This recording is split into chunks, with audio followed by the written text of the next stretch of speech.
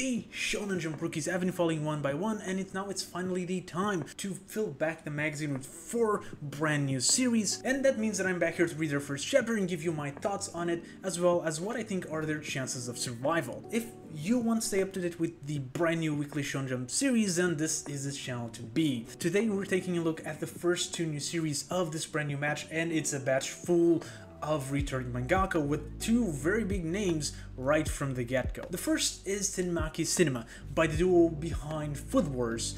And I gotta say, this is my first time getting into manga from theirs, with the exception of the One Piece spin-off that they've done, and I was pretty excited for it. But before we get into the manga, I want to take a closer look at the Shonen Jump debut cover, because there's something that I noticed, and that was this girl right here.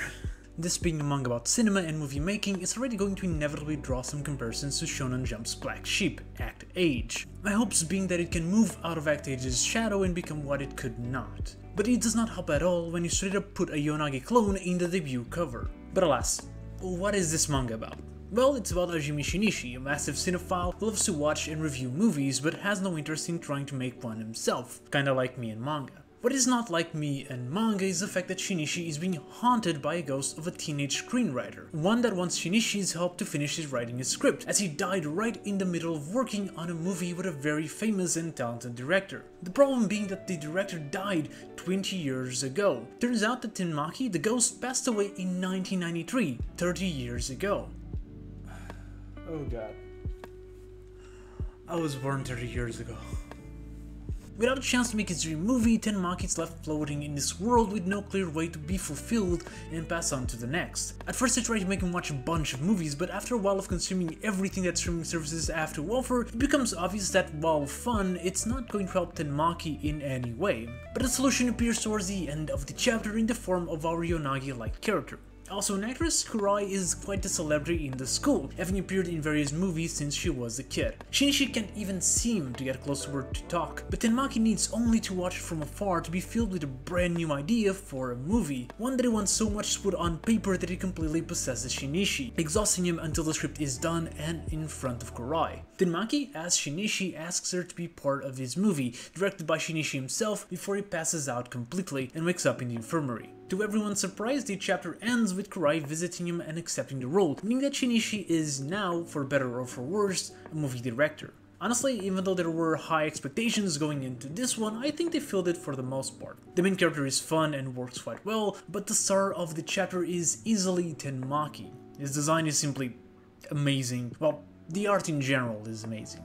I was already aware of it coming into the series, but it really is so good. Kurai as well needs some props. Of course, by being from a duo that work on a heavily ecchi manga, the girls are bound to be gorgeous, but all my complaints about looking like Yonagi are out of the window once I actually saw her in the manga. She actually looks like her own character, which is good. It also seems like it's going to focus more on the process of making a movie from the beginning to end, so it seems like it's different enough for MacTage to stand on its own.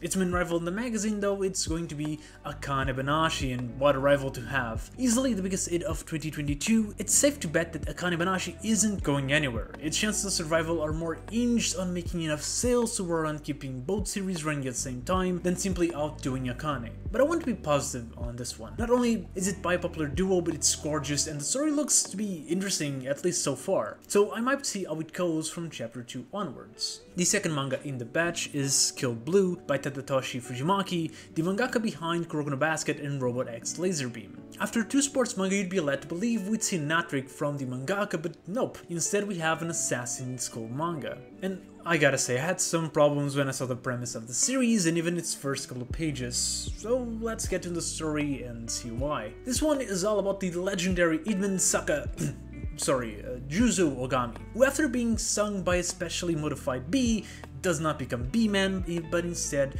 regresses back to the body of a middle school kid.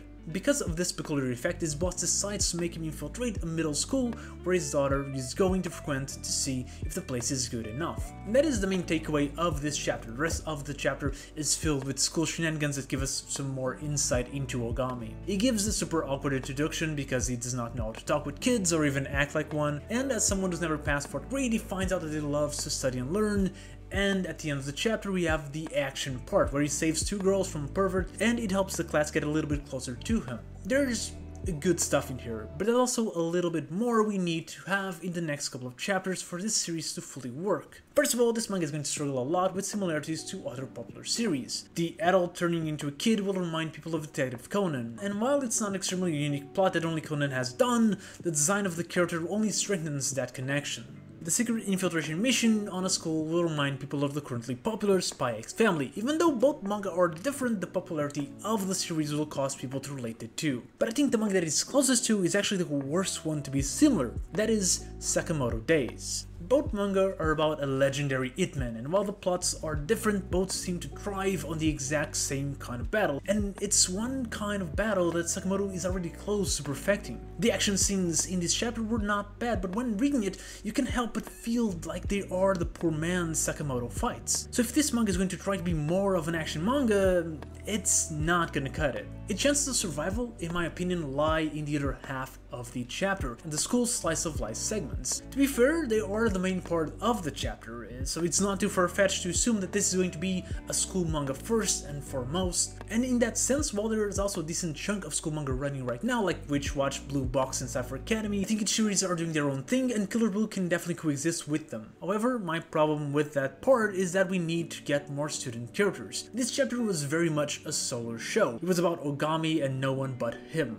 Sure, we got two nameless girl characters, which I hope don't become romantic interests for incredibly obvious reasons. But when the second most important student in the chapter isn't even given a name, it tells you a lot about their role in the story. That's what we need moving forward. More focus on the school characters and their dynamic with Ogami, because honestly, Ogami is an interesting character so far, and there's a lot of space for some cool moments and interactions in a school setting. I hope we don't lose that in favor of just a bunch of action scenes where the different key part is that the guy is just a kid, because the magazine does not need that right now. Through this, both series started in the best time that they could in the foreseeable future. Like I've said in pretty much every video about Rookie Monk that I made in the last year, the magazine is full. It's so full that being good is not good enough.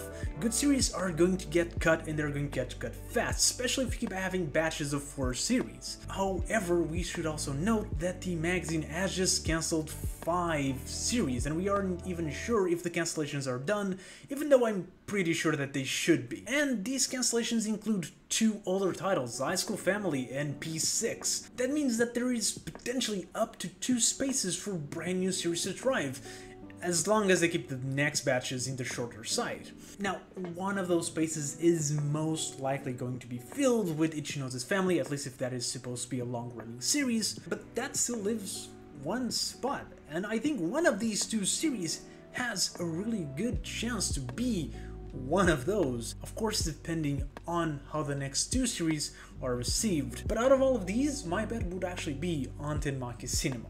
In three weeks, we'll be back here to talk about the other two of the batch, so if you want to be here for it, don't forget to click the subscribe button, and if the video is out, there's going to be a link on the left, and there's also a playlist of all the videos on the series on the right, and if you watched it till here, thank you very much, and I'll see you next video.